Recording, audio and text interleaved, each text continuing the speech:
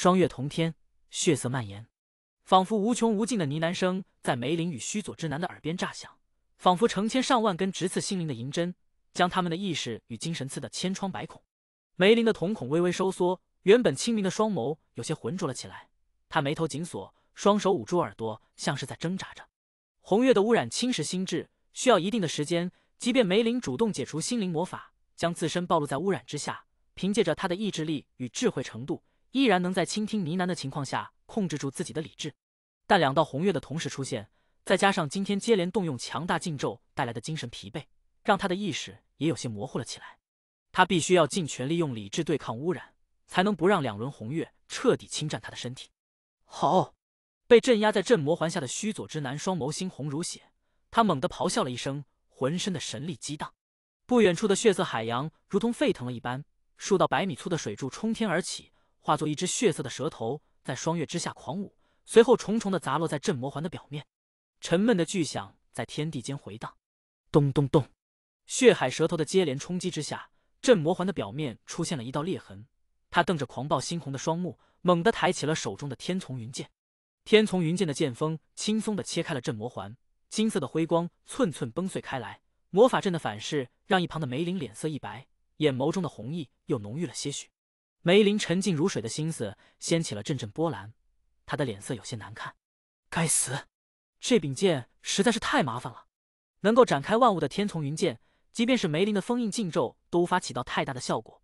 镇魔环已经是他所掌握的禁咒中名列前茅的封印类禁咒，但依然被找到机会强行破开。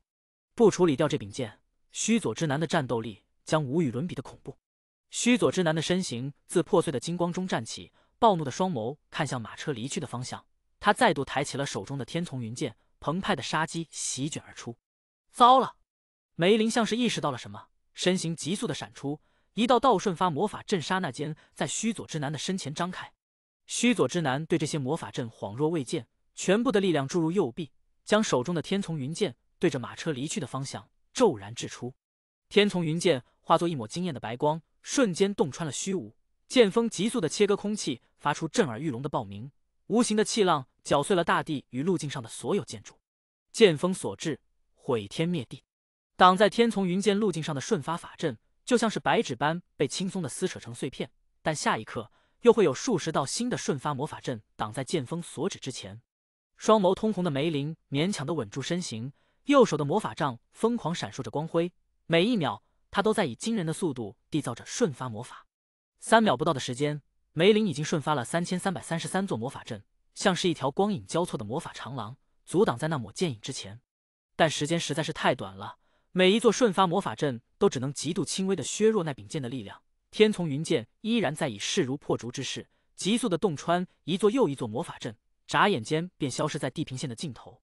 银色的马车在破碎的大地上急速奔袭。梅林树，轰鸣的爆炸声自远处传来。林七夜皱眉看着那个方向，迅速从座椅上站了起来，伸手便要去打开马车的箱门。他的手掌停滞在了半空中。林七夜站在那。双眸之中满是挣扎，片刻之后，他还是叹了口气，回到了座位上坐下，放在膝盖上的双手紧紧攥拳，骨节泛起苍白。在这之前，他根本没有意识到梅林所说的有点小事要办，是帮他拦住须佐之男的追杀。可现在一切已成定局，如果这时候他再贸然做出些不理智的举动，只会给梅林徒增麻烦。一只温润的手掌轻轻握住了林七夜紧攥的拳头，迦兰的声音从他的耳边传来：“放心吧。”梅林叔不会有事的，他可是伟大的魔法与预言之神。林七夜转头看向迦兰那双纯净的眼眸，沉默了片刻之后，点了点头。嗯。林七夜深吸一口气，正欲说些什么，一股莫名的躁动感突然涌上心头。梅林留在他体内的三座心灵魔法突然剧烈的波动了起来，魔法压制不住红月的污染了。林七夜微微一愣，猛地抬头看向天空，不知何时，第二轮红月已经悬挂在空中。双月散发着令人心悸的红芒，诡异而神秘。两轮红月，林七夜不解的喃喃自语：“地球之外只有一个月亮，这是毋庸置疑的。可为什么此刻高天原的上空出现了第二枚红月？如果说原本那轮红月是月球上克苏鲁众神的污染照射而下形成的，那第二轮红月又是什么？”就在林七夜沉思的时候，马车外的荒芜大地上，几只双眸通红的尸兽。注意到了这辆急速行进的马车，只剩下本能的他们立刻咆哮了一声，随后前赴后继的冲了上去。银色的马车如同一道闪电般掠过大地，笔直的向着接引之门的方向冲刺。它的速度太快了，那些被它所吸引的尸兽没有一只能触及到车厢本体，最多只能远远的坠在后方，咆哮着如一片黑色的巨浪奔涌前进。林七夜透过车厢看到了马车后的这一幕，眉头微微皱起。他回头看向马车前进的方向，那座无比庞大的接引之门，此刻已经近在咫尺，最多不过两公里的距离。这个距离对于银色马车来说，不过是瞬息之间的事情。后面的尸兽浪潮根本追不上来。林七夜微微松了口气。就在这时，他像是察觉到了什么，猛地转头看向尸兽浪潮的后方，那里一柄白色的剑芒如电般撞碎了一层又一层魔法阵，朝着他们急速飞射而来。足以展开万物的剑锋，无情的将十数只尸兽的躯体刹那间搅成漫天碎块。这些足以匹敌克莱因境的巨兽。就连一声哀鸣都来不及发出，就消弭在空气之中。自尸兽浪潮中展开一条血路，它的速度依然没有丝毫的滞缓。恐怖的音爆掠过天空，森然剑芒卷挟着澎湃的杀意，直指银色马车。这是日本最后一位神明的必杀一击，这是高天元第一杀伐神器——天丛云剑。看清那抹剑影的瞬间，林七夜的瞳孔骤然收缩。随着天丛云剑的急速逼近，一股前所未有的生死危机感。涌上他的心头，哪怕此刻距离那座接引之门只剩下不到一公里的距离，哪怕那扇古老庞大的门户已经打开了一角，林七夜的心中依然没有丝毫的欣喜，因为天丛云剑的速度比他们更快。照这个情况下去，在马车离开高天原之前，那柄剑必然会先一步将他们全部搅成血雾。似乎是察觉到了危机的接近，牵引着马车的几匹幽灵白马在原本的路线上微微偏转，想要避开这一剑的轨迹。但就在他们偏转的瞬间，身后的天丛云剑也随之偏转，剑锋就像是已经牢牢锁定了他们一样。此刻，林七夜可以清晰的感觉到，天丛云剑锁定的不是这架马车，而是在马车上的他们。林七夜的心顿时沉了下去，电光石火之间，他的大脑中闪过无数的念头，却依然没有想到打破这个死局的办法。就在这时，嘉兰的手掌轻轻从他的手上抽了出去。林七夜一愣，他像是想到了什么。表情骤变，嘉兰，你想做什么？嘉兰微微一笑，放心了，我答应过你，不会随便把不朽转移给你的。我可不想当不讲信用的小狗。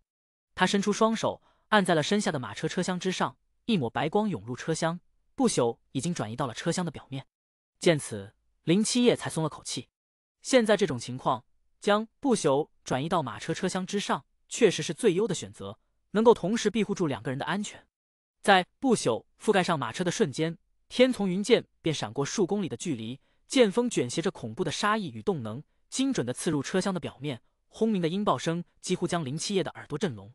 天从云剑上赋予的力量实在太过恐怖，在这一刹那，整个马车都剧烈一震，牵引着车厢的几匹幽灵白马被天从云剑的余波直接泯灭，消散在了空气之中。与此同时，马车的轮毂、围栏以及承载着箱体的基座也瞬间被碾为了粉末。银色的车厢重重的砸落在地，扬起漫天的尘沙。足以展开万物的剑与近乎阻挡一切的盾，在这一刻正面相击。在刺耳的金铁交鸣声下，天丛云剑的剑锋与车厢表面的不朽激烈的碰撞着，肉眼可见的气浪将漫天的尘埃狂卷而出，车厢之下的大地寸寸崩裂开来，顷刻间震出了一座半径三公里的巨坑。林七夜站在车厢之内，勉强稳住身形，一旁的嘉兰脸色凝重无比。咔嗒，一道轻微至极的破碎声传出，天丛云剑的剑锋没入了车厢半寸，一道道蛛网般的裂纹沿着那道细密的缺口缓缓蔓延开来。虽然这道缺口很小，但这却预示着覆盖在车厢外的不朽之力已经到极限了。感知到这一幕，林七夜的脸色越发的凝重起来，他眉头紧锁的看着逐渐刺入车厢内壁的剑锋，直到此刻，他才真正意识到迦兰的不朽。并非是万能的，在这件高天元第一杀伐神器面前，就算是迦兰也会受伤。车厢内，迦兰的嘴角渗出一缕鲜血，轻轻滴落在那件深蓝色的汗袍上，荡出一层层红晕。他的脸色苍白如纸。迦兰，你还好吗？林七夜的眼眸中满是担忧。嗯，我没事。迦兰的目光凝视着那柄杀意滔天的天丛云剑，抿了抿双唇，转头看向一旁的林七夜。车厢内只剩下天从云剑的剑鸣，以及车厢内部缓缓碎裂的吱嘎声。他就这么看着他的脸，片刻之后，苍白的嘴角浮现出一抹灿烂的笑容。怎么了？林七夜看到这抹笑容，微微一愣。我突然想到了高兴的事情。嘉兰的双眸弯成了月牙，笑眯眯的看着林七夜。刚才梅林叔告诉我，你说你喜欢我。林七夜怔住了，他没想到在这种时候，嘉兰会提到这个事情，神情有些尴尬。我是说过，但是，吱嘎，在天从云剑的不断刺入下，剑锋已经即将洞穿车厢内壁，箱外的白光微微闪烁，似乎越发的暗淡下去。车厢的结构被一股无形的巨力挤压，发出低沉的嗡鸣声。但是，你担心那是丘比特之箭的作用？嘉兰说出了林七夜的后半句。嗯，笨蛋。林七夜一愣：“你真的以为我会用这种手段让你强行喜欢我吗？”嘉兰幽怨的看着他的眼睛。伪恋之所以被称为伪恋，就是因为它所带来的感情全部都是虚伪的。我嘉兰才不需要哪种东西。你好好想想。被那支箭刺中之后，你真的有对我产生爱意吗？看着嘉兰的目光，林七夜陷入了茫然。他突然回忆起了刚回上京市，去零零六小队驻地做客的那天，他们来到了小队驻地的训练场，却看到两个大男人抱在一起，相互暧昧的情景。在李真真的爱神之剑下，两个五大三粗的男人都会被伪恋影响，做出那一系列辣眼睛的动作，足以证明爱神之剑的威力有多大。可为什么他被嘉兰刺中之后，却什么感觉也没有？甚至在那之后，他跟嘉兰最亲密的接触也只是碰了一下手而已。他的脑海中再度浮现出在集训营教官宿舍，嘉兰握着爱神之剑，在漫天木屑之中刺入他胸膛的情景。他的脸上满是羞怯与坚决。林七夜像是想到了什么，震惊的开口：“那支剑是假的，那支剑里根本就没有注入真真的精神力。”嘉兰有些委屈的开口：“那要是真的爱神之剑的话，恐怕现在我们连孩子都有了。”笨蛋，那我为什么会有？林七夜的话说到一半，像是意识到了什么，戛然而止。嘉兰的双唇微抿，脸颊浮现出一抹红晕，她将头转到一边，小声的说道：“要是我不主动去刺那一剑，你这个榆木脑袋什么时候才能意识到我喜欢你啊？”林七夜呆在了原地。我知道，这段时间我可能有些太心急了，我迫不及待的想要让你知道我喜欢你，迫不及待的想要让你喜欢我。这可能会让你感到很困扰。嘉兰低下头，那件深蓝色的汗袍之上已经晕出了一大片血迹。他喃喃自语：“但是，我真的没有太多时间了。”林七夜眉头一皱，尚未反应过来嘉兰的这句话是什么意思，耳边便传来一声巨响，咚！闪烁在车厢外围的不朽已经到了极限，在天从云剑的刺入下，化作漫天的白光破碎开来，倒卷回了嘉兰的体内。与此同时，恐怖的余波瞬间将车厢碾碎，彻底爆开。林七夜猛地拉住嘉兰的手，同时将腰间的斩白出鞘半寸。他们两人的身形同时遁入虚空之中。黑与白的世界中，林七夜背着虚弱无比的嘉兰，身形急速的向接引之门的方向冲去。但身后的天从云剑就像是长了眼睛般，立刻调转剑锋，刺向了两人所在的方向。虽然经过不朽车厢的阻挡后，天从云剑的速度慢下了许多。但依然远比林七夜的速度要快。那散发着森然寒芒的剑锋刺入虚无，直接将斩白所在的虚空割裂一角。即便是虚空，天从云剑亦可斩之。周围的虚空崩碎开来。林七夜的脸色一白，紧咬着牙关，将速度提升到极致，向着那近在咫尺的接引之门冲去。然而，天从云剑与他的距离依然在急速的缩短。快了，快了，就差一点，马上就能穿过那扇门了。感受着身后传来的杀意，林七夜的双眸通红，心中升起一抹决然。他闪电般的从怀中掏出了一枚勋章，轻轻一拨，一根银针便从中弹了出来。他深吸一口气，正欲将鬼神引刺入体内，一只手掌从背后伸出，紧紧的抓住了他的手腕。七夜，林七夜的背后，嘉兰虚弱的声音传来。他微微一笑：“我还活着，你就不能死？你以后不可以不理我。还有，下一次。”我想听你亲口对我说你喜欢我，好不好？林七夜的思绪突然停滞，他张大了嘴巴，在狂风中近乎是低吼着开口：“嘉兰，你想做什么？”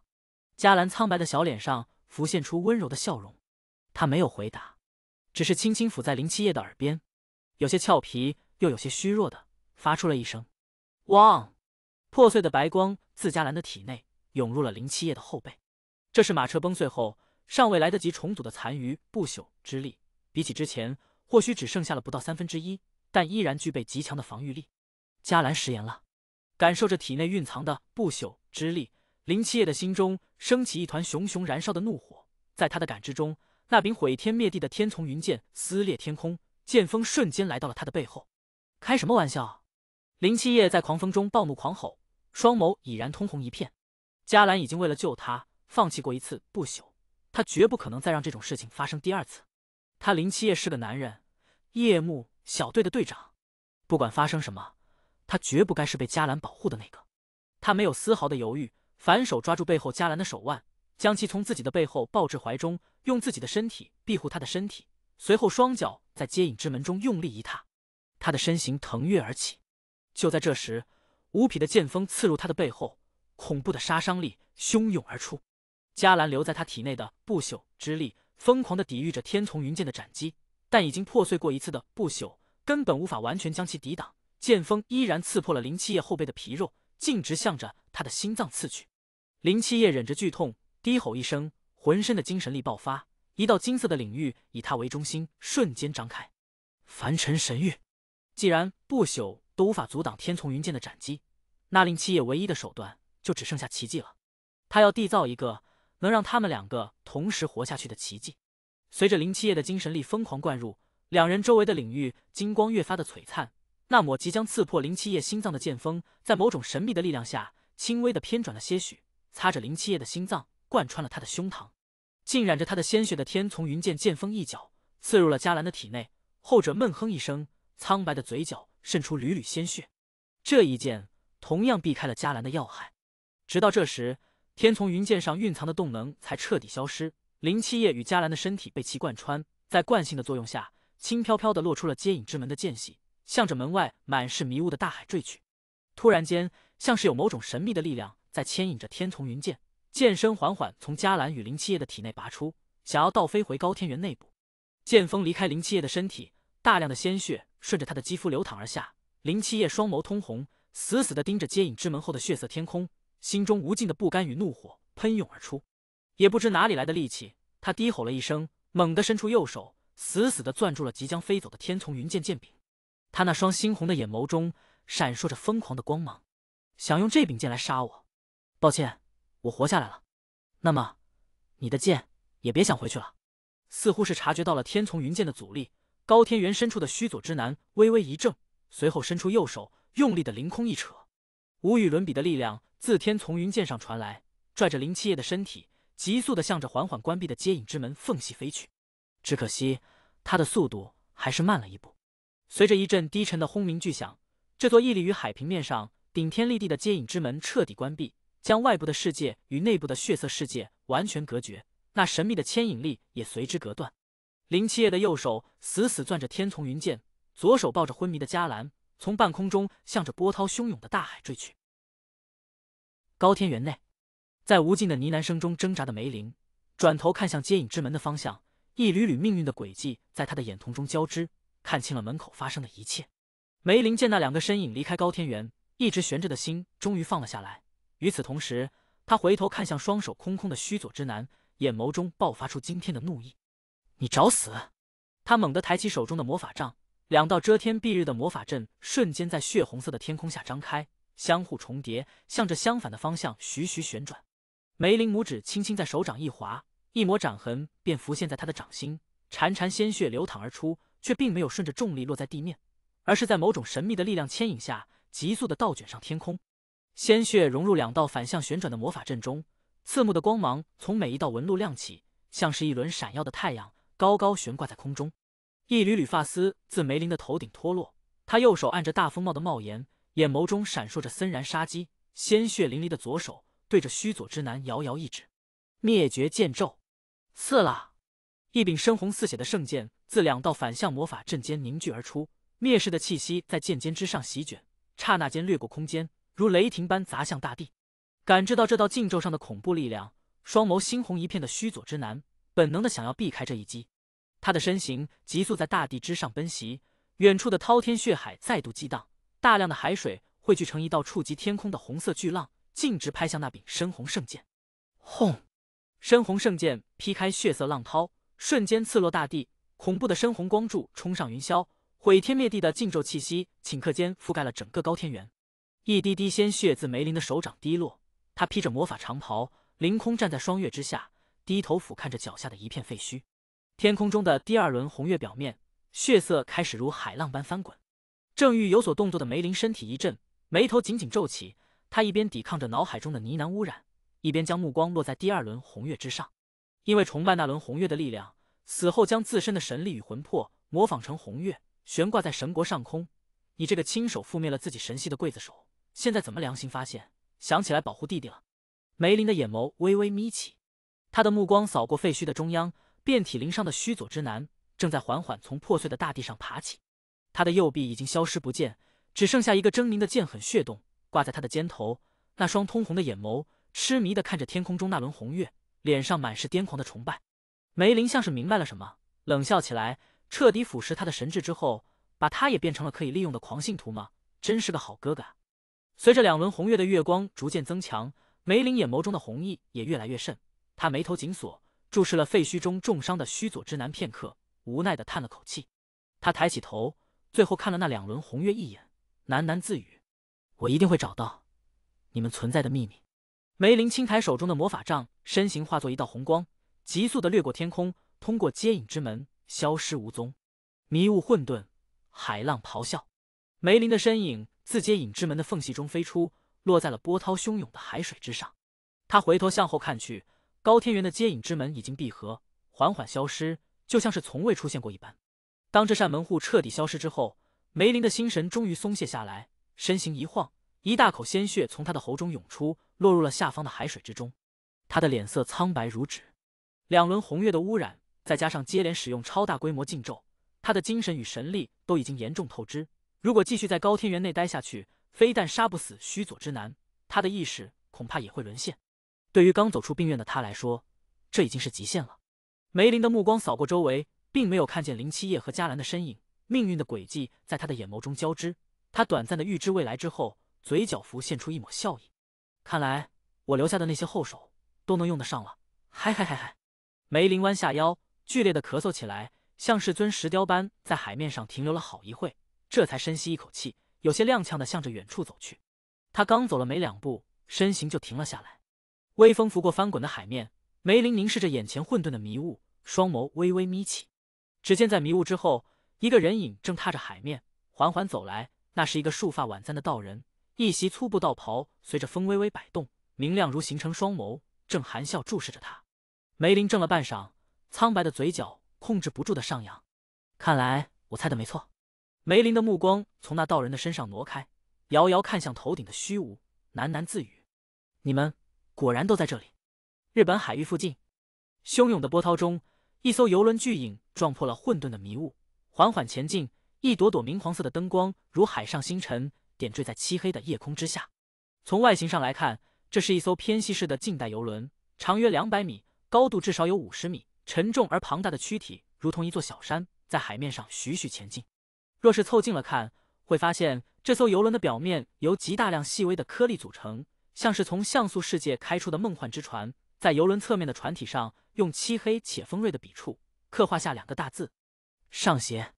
在这艘像素游轮的最顶层，一座庞大的室内泳池倒映着灯光，池内的水流随着游轮微微晃动。泳池边。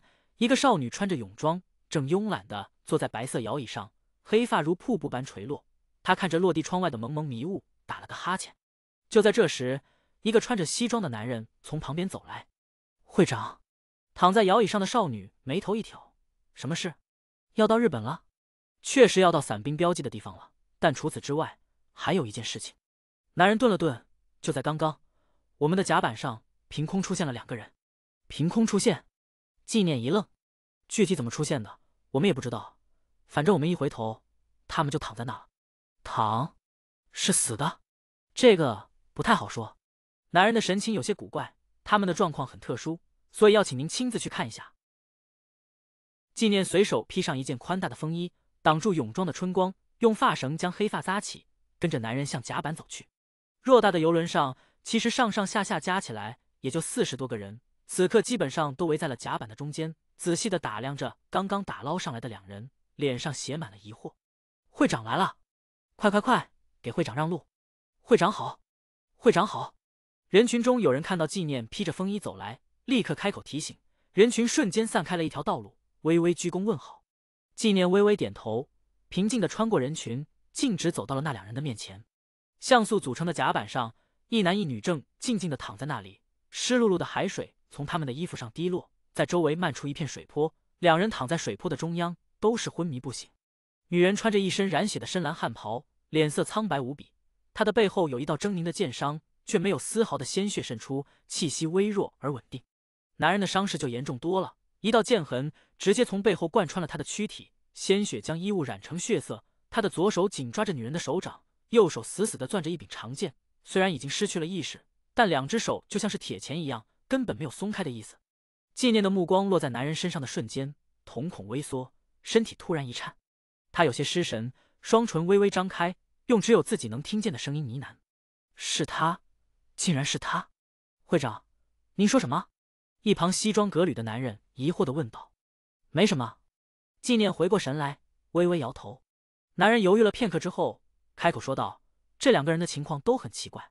那个女人虽然受了剑伤，但却没有流血。”伤口附近的肌肉组织也丝毫没有愈合的迹象，而且他的伤口却依然很很新，就像是所有细胞都定格在了受伤的那一刻一样。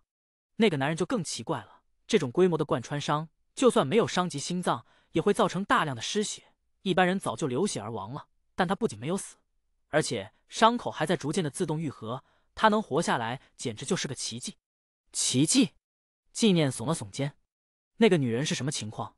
他不清楚。但这个男人代表的确实就是奇迹，把他们都送到传医室去，准备抢救。纪念平静的开口，围在周围的上协会成员立刻背起甲板上的两人，将其送到传医室。围在甲板上的其他人也都散开。纪念披着风衣，独自走到了游轮的最前端，目光凝视着远处迷雾中隐约出现的海岸线轮廓，双眸微微眯起。会长，马上要到八指径的缺口了。穿着西装的男人走到他的身边，说道。嗯，纪念平静的点头，转身向船舱的方向走去。蓝缕的风衣在迷雾中随风摆动，通知所有人准备进入人圈吧。日本人圈，北海道沿岸，卫东站在波涛汹涌的海边，凝望着远处的海平面，眼神中有些焦急。骑士大人，会长他们怎么还没来？他转头看向身旁的骑士，忍不住问道。骑士悠闲的坐在沙滩上，随手捡起了一块贝壳。丢到了远处的海浪中，不慌不忙的开口：“放心吧，通过那个缺口需要时间。我们已经把一路上的信号都标好了，有会长在，能出什么事？”也是，卫东点了点头，心中安定了少许。轰！就在这时，远处的海面突然传来轰鸣巨响，一座庞大的像素之球从海底急速的上浮，冲出海面后，重重的砸在海水中，掀起恐怖的环形巨浪。卧槽！金发碧眼的骑士脱口而出，就是一句国粹，回头就往身后跑去。翻滚的巨大浪花打在沙滩上，飞溅的海水最终还是染湿了他的衣服。卫东看着海上的那座像素之球，眼中浮现出狂喜。像素之球的外壳如泡沫般消散，被包裹其中的庞大游轮显现而出。一个少女双手插兜，正静静地站在游轮的最前方。漫天的海水如雨点般落下，浸湿了她的衣摆。这里就是高天元众神的人眷吗？纪念的目光扫过蓝天与白云，看向了岸上远处的高楼轮廓，啧了啧嘴，这规模果然大的离谱啊！游轮逐渐靠岸，纪念直接从游轮的前端一步踏出，轻盈的跃到了海岸边。卫东与骑士微微鞠躬，同时开口道：“会长好，哟，小卫东，好久不见啊！”纪念笑着拍了拍卫东的肩膀：“这次辛苦你了。”卫东无奈的笑了笑：“会长，我都三十了，用小这个字不太合适吧？”有什么不合适的？纪念满不在意的摆了摆手，走到了浑身湿漉漉的骑士面前，上下打量了他一番，表情有些古怪。老六，你这是泡完了温泉来的？我听说北海道这边的温泉混浴大多都是觊觎年轻少男身体的老太太啊，你没有被占便宜吧？骑士会长，船上的东西都准备好了。一位上协会的成员走到纪念的身后，说道。纪念微微点头，脸上的嬉笑逐渐收敛，表情严肃了起来。卫东，临时据点准备好了吗？准备好了。卫东点头。我们跟东京的一个黑道家族有些交情，他们把一处产业借给我们，当做临时住所。黑道家族，姓袁还是姓上山？姓风纪。啧，果然小说都是骗人的。纪念耸了耸肩，走吧，带路。东京，风纪家。欢迎收听午间新闻。根据最新线报，据不完全统计，截止今天上午九点，本周大阪犯罪案件总数已经达到三万两千零一十二起，仅次于东京的三万七千六百二十一起，位列日本第二大犯罪城市。本周以来，东京平均每天发生的犯罪数量约为五千三百余件。新宿、涩谷、千代田、江户川等区已经完全沦陷为犯罪地狱，所有警署已经全部瘫痪，其中不乏大量武装分子暴动犯罪。在此劝诫以上四区居民，非必要情况禁止外出。与此同时，曙光广播再次提醒各位居民，如发现自身出现红眼、失眠、莫名狂躁等病症，请尽快到就近医院隔离治疗。空荡的客厅中，佑梨奈穿着一身黑底樱花和服，静静地跪坐在圆垫上。微风卷落几朵樱花，飘进屋内的榻榻米上，浅粉色的樱花发簪在阳光下荡出淡淡光晕。他低头望着身前的收音机，双眸缓缓闭起。吱嘎，一个身穿白衣的高大身影开门走了进来。佑离奈回头望去，只见佑离龙白正站在他的身后，那张满是血污的脸上浮现出温柔的笑容。姐姐，我回来了。他轻声说道。怎么又弄得一身血啊？幼离奈迅速的站起身，走到了他的面前，仰起头，担忧的看着他。没受伤吧？没有，这都是尸兽的血，我很强的。他们伤不到我，幼离龙白微笑说道：“把衣服脱下来，我帮你洗了吧。”幼离奈一边帮幼离龙白脱外衣，一边皱眉说道：“这已经是今天的第四只了，再这样下去，就算你再厉害，身体也会被累垮的。”我不累。幼离龙白轻轻脱下外衣，笑道：“哪里有怪物出现，我就去哪里打倒他，然后救下所有人。姐姐，我现在就像是奥特曼一样呢。”听到这句话，右离奈扑哧一声笑了出来：“都这么大的人了。”怎么还看那么幼稚的东西？又离龙白一怔，可是姐姐，我才十三岁啊！又离奈的手停顿在了空中，他怔怔的看着手中那件染血的白衣，像是尊雕塑站在原地。姐姐，又离龙白那双纯净的眼眸疑惑的看着又离奈。嗯，又离奈回过神，用力眨了眨有些湿润的眼睛。哦，我这就去帮你洗衣服。他回头便向另一个方向走去。轰！就在这时。隐约的轰鸣声又从远处的天空传来，佑离奈的身体一颤。插播一条紧急新闻：东京市江户川区再度出现黑色巨兽，两座居民楼坍塌，现场混乱无比。这一次，白衣神能否及时出现，拯救下这些危难中的人们？收音机的声音在空旷的客厅中回响。这对姐弟站在樱花飞舞的院落移门旁，同时陷入了沉默。片刻之后，佑离龙白还是开口：“姐姐，把衣服还给我吧，我杀完这一只回来。”你再帮我洗，不然他又要脏了。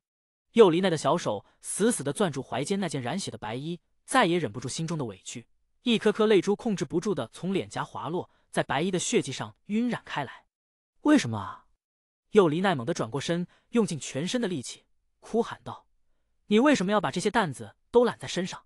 凭什么你要对这些人的死活负责？你才十三岁啊！明明这个世界都没有好好对待过你。”你干嘛要做到这个地步？十三岁就好好的在家看特摄片，当个整天幻想着成为英雄的孩子就好了呀！只有笨蛋才会真的想要去当英雄吧？看着眼前泪流满面的幼离奈，幼离龙白愣在了原地，沉默了许久。他迈开脚步走到了泣不成声的幼离奈面前，缓缓蹲下身，满是血污的脸上浮现出温暖的笑容。我可不是笨蛋啊，姐姐，我们幼离家没有笨蛋。他轻声说道：“愚公哥哥。”曾经是这个世界上最痛恨这个腐朽的国度，最想要将其彻底毁灭的人。可你知道，为什么他现在却在绝境之中，独自寻找着让这个民族延续下去的方法吗？佑离奈茫然的摇头。雨宫哥哥恨的是神权，是被神权侵蚀到腐朽不堪的陈旧思想与社会，而不是人。任何一个人类群体都是复杂的，他们中或许有些人已经病入膏肓，无药可救，但一定还有些人依然存在着被改变的可能。他们所缺的只是一个正确的环境。这座人圈里，能够摆脱陈旧牢笼、自我觉醒的人太少了，而这其中拥有改变这一切的强大力量的人更是凤毛麟角。我所知道的，只有雨宫哥哥、父亲、姐姐和我。当危机来临之时，我们这些已经觉醒的且拥有力量的人，要么选择明哲保身，成为这方天地的逃兵，要么就站出来去当力挽狂澜的先驱。姐姐，我不想当逃兵。或许我们不会被人理解，或许这一路会非常的坎坷困难，但我们想给这个国家一个可能，一个回归正轨的可能。这就是我和雨宫哥哥正在做的事情。看着幼离龙白那双纯净而认真的眼眸，幼离奈愣在了原地。他从未想过自己这个单纯的、热爱游戏的宅男弟弟，思绪竟然已经如此的深远。果然，幼离家没有笨蛋，在他的面前，幼离奈觉得自己才是笨蛋。幼离龙白伸出手，轻轻拂去了幼离奈眼角的泪痕，像是个大男孩一样笑了起来。而且啊，像我这样能当上英雄的孩子，不知道是多少同龄人的梦想。孩子的世界里。没有那么多利益纠纷、勾心斗角，我们只是想成为英雄，仅此而已。就算只有一点可能也好，我想带着这些孩子的愿望去成为他们的光。幼离龙白伸出手，指了指幼离奈怀中染血的白衣：“姐姐，可以把我的奥特曼皮套还给我吗？”听到这句话，已经止住了泪水的幼离奈又忍不住笑了起来。他微抿着双唇，将怀中的白衣还给幼离龙白，神情前所未有的认真。不管发生什么。一定要保护好自己，知道吗？知道了，姐姐，我很快就会回来的。幼离龙白从地上站起身，笑着对幼离奈摆了摆手，转身向着门外走去。他披上了那件染血的白衣，飘零的樱花在风间飞舞。这个不过十三岁的高大少年，用自己的双手替数千万条生命在荆棘丛中开辟着名为希望的道路。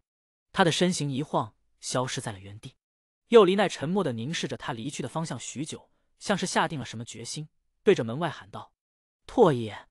一个年轻人站出，对着幼离奈恭敬鞠躬：“家主，叫上所有在东京的风纪家成员，十分钟后随我出门。”出门？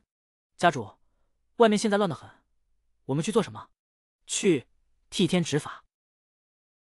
东京市新宿区，这个地域最为繁华的主路上，已然是一片狼藉，马路上几乎看不到任何行走的路人。两侧原本人声鼎沸的人气店铺全部关门，即便如此，这些已经关门的店铺大门绝大多数都已经被砸得稀碎。远处的街道上，一群头戴黑色头套的男人手持锤子与砍刀，狂笑着冲入一家酒吧，将柜台上仅剩的几瓶酒抢走，就这么在大马路上痛饮起来。路边的垃圾桶已经被烧到焦黑，破碎的酒瓶、深凹的弹壳、随处可见的干涸血泊、狰狞的红色日本字被涂抹到墙体上。到处都是肮脏且充满进攻性的词汇。就是在这么一条混乱无序的主街上，依然有一家店面敞开着大门。这是一座足有六层楼高的独栋建筑，外形的设计完美的融合了现代感与日式合院风格。黑金色调的装修之下，奢华而大气。这是目前全日本最大、最豪华的牛郎会所，也是新宿区唯一还在正常营业的店面——浅羽俱乐部。纪念带着上协会众人。站在这座宏伟大气的俱乐部面前，震惊的张大了嘴巴。卫东挠了挠头，适时的开口解释道：“我知道，把临时据点定在一家牛郎店，确实会有损我们上协会的形象。但是现在的人卷情况十分复杂，除了这里，东京已经几乎没有可以给我们容身的地方，所以只能请回长将就。”干得漂亮！卫东的话音未落，纪念猛地一个回头，两眼激动的放光。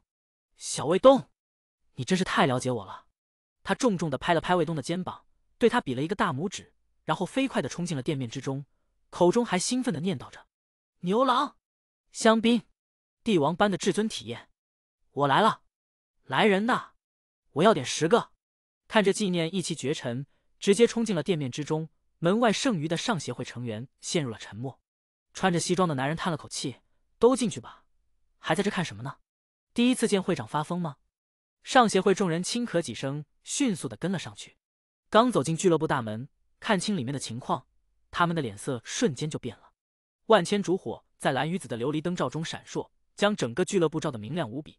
此刻，空旷大厅内错落摆放的真皮沙发上，十几位穿着亮片华服的英俊男人，手持冲锋枪，枪口对准大门，似乎随时准备开火，表情平静无比。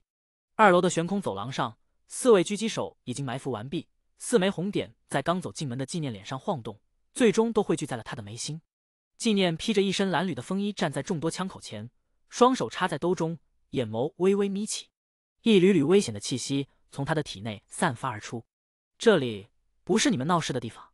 最后方的黑色真皮沙发上坐着一位穿着蓝色亮片西服的牛郎，他左手拿着一柄即将出鞘的武士刀，右手握着冲锋枪，面色平静的开口：“离开吧，风纪家的产业，你们惹不起。”在这剑拔弩张的气氛中，魏东的身形快步走出，他的目光扫过场上的众人，嘴角浮现出一抹苦笑：“都把枪放下吧，是我。”见到魏东，那穿着蓝衣的牛郎微微一愣：“魏先生，这是个误会，这些就是我之前跟你们家主提过的。”赞助的同伴，魏东指着身后的上协会众人说道：“蓝衣牛郎眨了眨眼睛，立刻把手中的冲锋枪和武士刀藏回了沙发底下，从沙发上站起，有些尴尬的轻咳了两声，对着周围的众人说道：‘还愣着干什么？都把武器收起来！这些不是闹事的暴民，是尊贵的客人。’听到这句话，所有的牛郎都默默的把枪收了起来，脸上挂起招牌式的笑容，面带歉意的对着上协会众人连连鞠躬。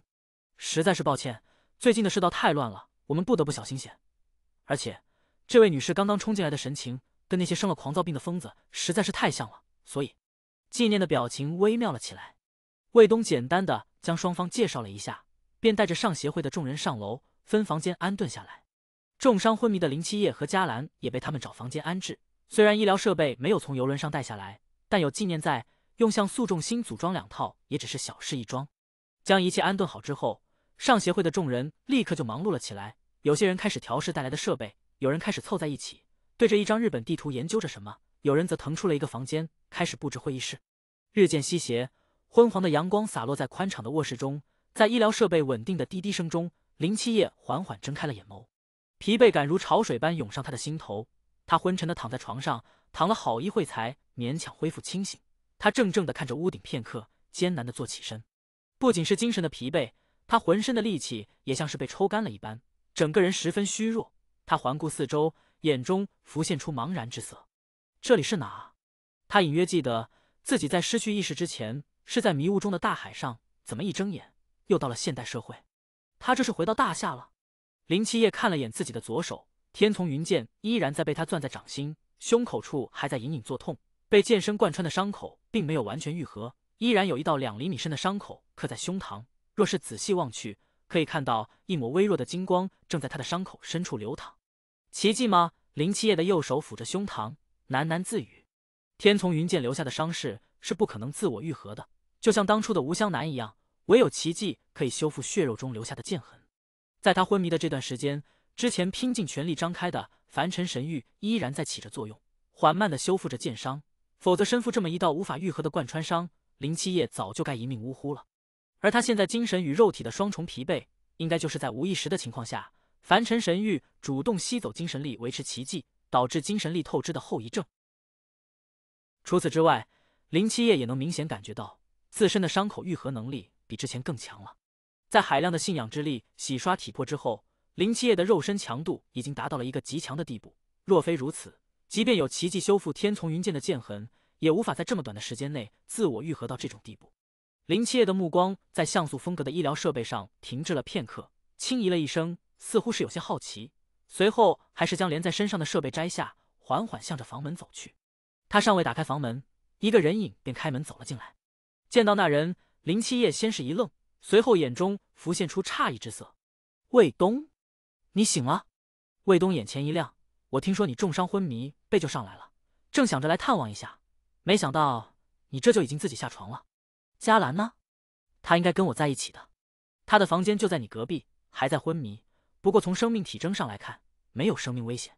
魏东带着林七夜来到嘉兰的房间，推门而入，只见那蓝衣少女正静静的躺在病床上，身上连着一旁的医疗设备，各项生命体征都没有问题，只是双眸紧闭，像是在做着噩梦。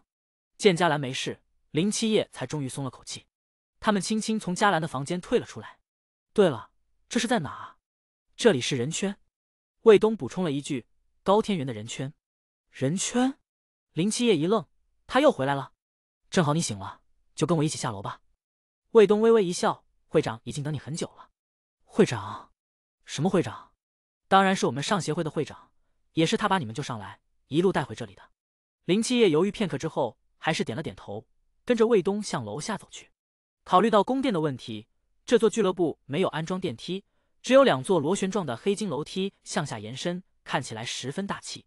对于上协会这个组织，林七夜知道的不多，只知道这是一个在迷雾中活跃的中立组织，成员不多，但是各个神国的人圈中基本都有他们的身影。论给那些外神的神国捣乱，他们是专业的。而对于上协会的会长林七夜却是一无所知。你们会长是个什么样的人？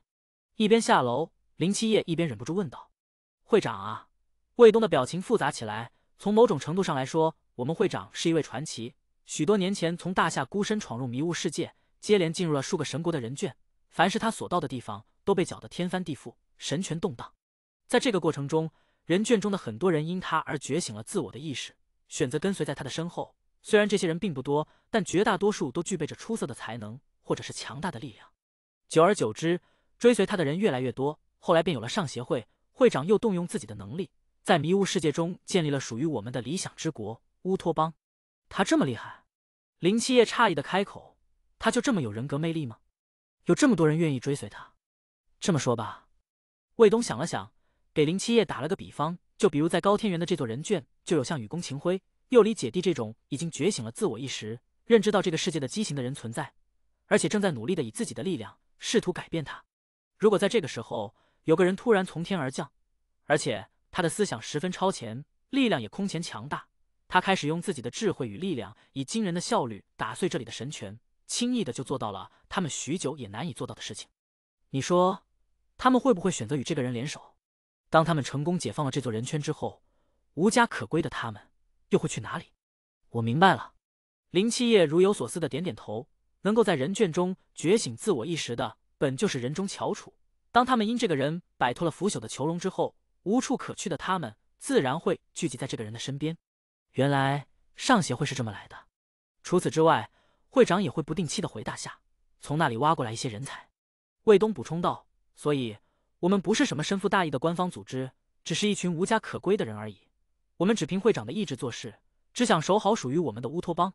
对所有人来说，会长就是我们的精神支柱。”通过魏东的描述，林七夜的心中已经勾勒出了一个高大伟岸。却又极具人格魅力的领袖身影，真是厉害啊！林七夜暗自感慨，对于马上与这位会长的见面，又期待了几分。不过，我们会长的性格……呃，魏东有些支支吾吾起来。怎么？没什么，到时候你就知道了。说话间，两人已经走到了一座包厢前。魏东轻咳了两声，对着林七夜做了个请的手势。会长就在里面，请吧。林七夜抬起头，看了眼这座包厢的名字：VIP 至尊闪耀零零幺。这是什么鬼地方？犹豫片刻之后，林七夜还是用力推开了房门。绚烂而迷幻的蓝紫色灯光从包厢内照出，映在了林七夜的脸上。他呆呆的看着眼前的一幕，像是尊雕塑般愣在了原地。宽敞的包厢中，几条华贵的黑金色真皮沙发围在中央。一个穿着蓝缕风衣的少女，正一只脚踩在黑金石桌上，左手抱着一柄不知从哪抢来的武士刀，右手高举着一杯香槟，酒水于杯壁间轻轻晃动。在灯光下闪耀着淡淡的光晕，来看我给你们悬一个。他说出一句标准的日语，高昂着头颅，将杯中的香槟一饮而尽。围坐在周围的众多英俊少男立刻从沙发上站了起来，脸上都带着一丝醉意，十分捧场的用力鼓掌。一时之间，包厢之内掌声雷动。纪念嘻嘻一笑，将手中的香槟放下，正欲说些什么，目光落在了门口呆若木鸡的林七夜身上，他的眼睛逐渐亮了起来。门口。林七夜默默的后退了半步，沉吟了片刻之后，转头问魏东：“你们会长也有当牛郎的喜好吗？”魏东嘴角微微抽搐，指了指那个一只脚踩在桌上的少女，万分不情愿的开口：“那个就是我们的会长。”说这句话的时候，魏东恨不得找个地缝钻进去，太丢人了。刚跟人家说完会长的英勇事迹，好不容易竖起的人设和伟岸形象，瞬间就崩塌了。林七夜只好将目光又挪回了那少女身上。从样貌上来看，对方应该跟自己差不多大，但无论怎么看，都跟林七夜脑补的形象有着很大的差异。林七夜，那少女一下就喊出了他的名字，拍了拍自己身边的座位，过来坐。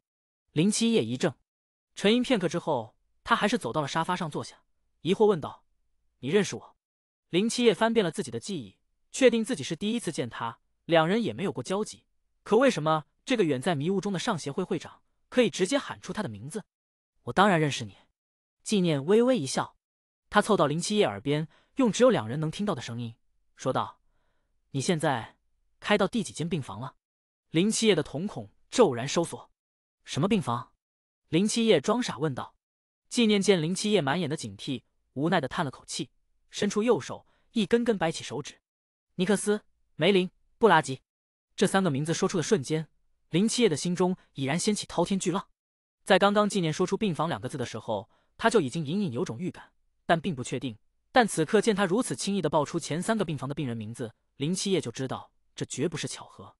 这个少女知道诸神精神病院的存在，而且知道这东西就在她的身上。你是谁？林七夜的眉头紧紧皱起。纪念这才想起来自己还没自我介绍，轻咳了两声，大大方方的伸出右手，嘴角微微上扬。你好，林院长，我叫纪念。迷雾，一辆电瓶车缓缓驶过波涛汹涌的海面。陆无为双手将把手拧到底，面无表情的注视着前方。他的身后，两个身影头戴小黄鸭，慢慢悠悠的坠在空中。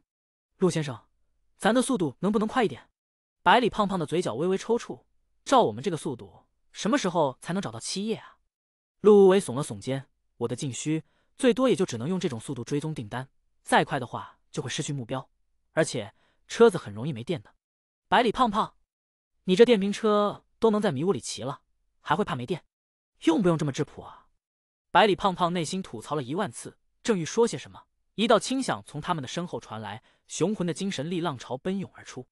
有人突破了！曹渊一愣，百里胖胖和曹渊同时转头望去，只见疾驰在空中的那柄金色剑影上，盘膝坐在剑身的沈清竹缓缓睁开了眼眸，嘴角勾起一抹淡淡的笑意。他身上散发而出的精神力，已经比原先雄浑了数十倍不止。沈清竹突破无量，想不到你居然比我快！安青鱼一边专心操控着瑶光，一边叹了口气，似乎是有些沮丧。你是因为操控静物？没有时间突破。如果现在操控瑶光的是我，说不定你突破的比我更快。沈清竹眉头一挑，说道。安青鱼无奈的摇了摇头，没有说话。接下来我操控瑶光吧，你专心突破。沈清竹从安青鱼的手中接过了瑶光的控制，找到七叶之前能突破吗？安青鱼沉默了片刻，笃定的点头，可以。前方，百里胖胖回过头来，忍不住感慨。帅哥也突破了。等青鱼突破之后，咱们队伍里除了江儿妹妹和嘉兰姐，就全员无量了，前途一片光明啊！曹渊眉头一挑，江儿还是海静，这的确是事实。毕竟他年纪还小。但你真的觉得嘉兰还没到无量吗？百里胖胖一愣。可是嘉兰姐并没有突破的过程啊。从我们认识她到现在，你什么时候见她突破过？曹渊摇了摇头。我们第一次见她的时候，以为她跟我们一样都是穿境，后来经过剑圣前辈的训练。